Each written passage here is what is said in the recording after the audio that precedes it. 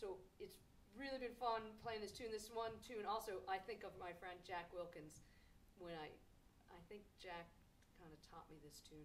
But it's a, we're, do, we're doing a little different way. It's a really beautiful standard called Tenderly. We just changed the meter a little bit and made it a little bit more open.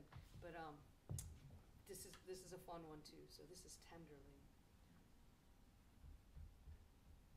One,